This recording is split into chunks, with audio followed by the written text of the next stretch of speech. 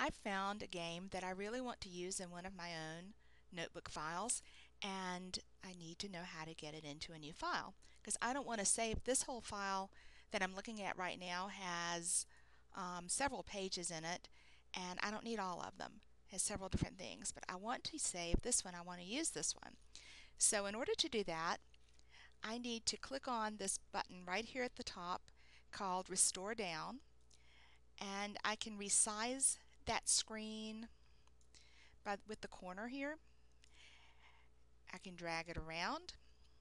So I can need to resize it because I'm going to need to see another notebook screen. So I just opened up Smart Notebook again. Here it comes.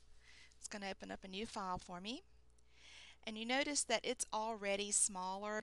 If yours opens up full screen like this, and you won't be able to see anything else, click on this middle button right here in the corner, and then drag it to the side so you can see both of these side by side. And then all you have to do is make sure that the page uh, that you want to save is already selected. It's already showing up here on the right. And you simply click on it and drag it over to the page sorter in your new file. And there it is. And that's all there is to moving a page over to a new file. And now you can close the old one.